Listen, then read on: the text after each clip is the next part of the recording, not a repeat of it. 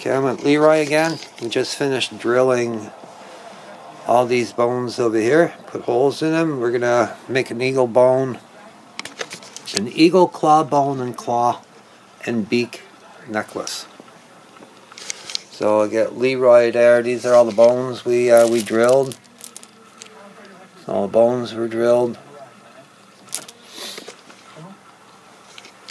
So here you go, Barney.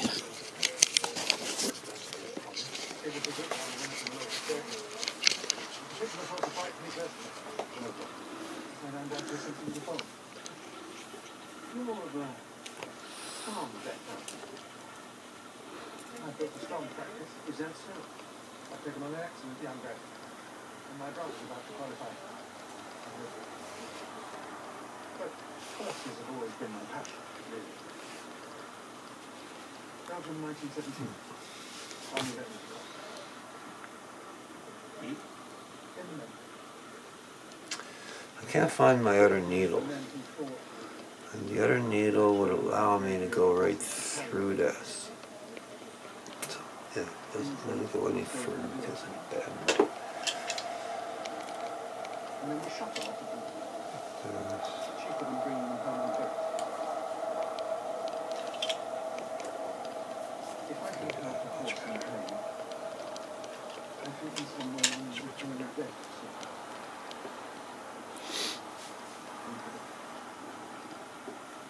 Look, how I want that.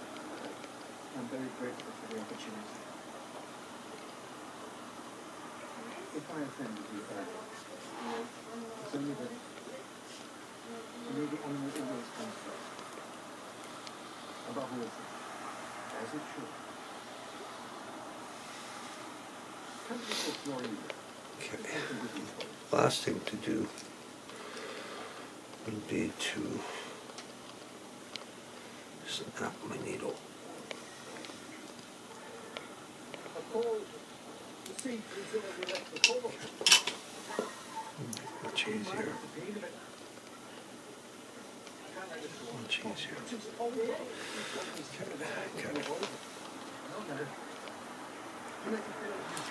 That animal, but there's no way I'm going.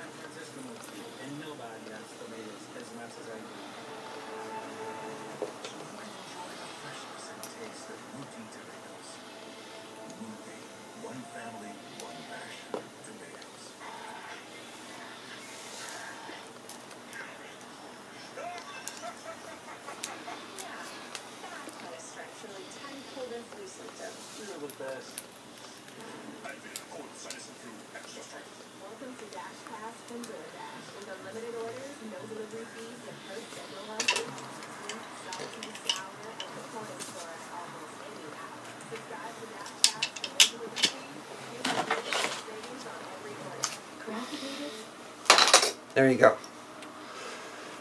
So my mom is First Nations, East Coast.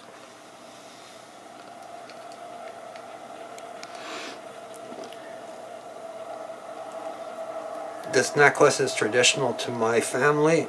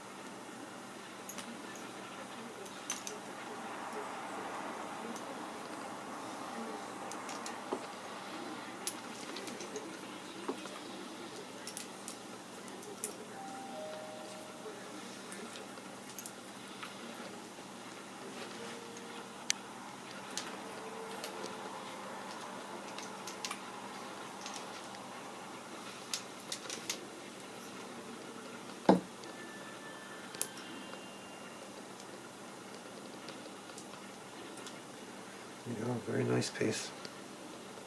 Beautiful, Martin. It's well balanced. And there you go. It's my gift to you. A beautiful piece.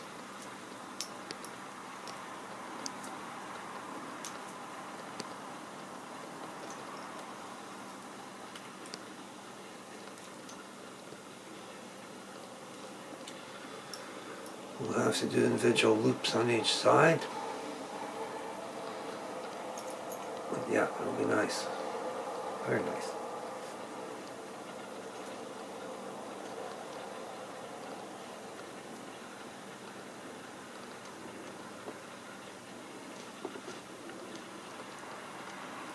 The bones that are used are knuckle bones. There's only two bones on each bird. Same with this, two bones. So this is one bird, two birds, three birds, four birds. This will be the knuckle next to it, next to the uh, finger bone. This would be a thumb bone over here. This would be a thumb bone. And we kind of do it this way to keep the uh, the sequences and what we're doing, which is basically eight on one side, eight on another side, and then we close it off with four four bones that are in relation to the following bones. So it closes it off, but continues on into your next piece. A very nice piece. We'll have to uh, take nail polish uh, hardener or nail hardener. And we'll have to uh, cover up the uh, the beak, protect the beak, and then we'll put a a leather a leather uh, sock around it. We might he might uh, do Leroy depending how he feels might want to get it covered in silver. He might want to get it covered in gold. Over here in the uh, in the uh, BC uh, province we have gold, and so most likely that's what he'll get it adorned with.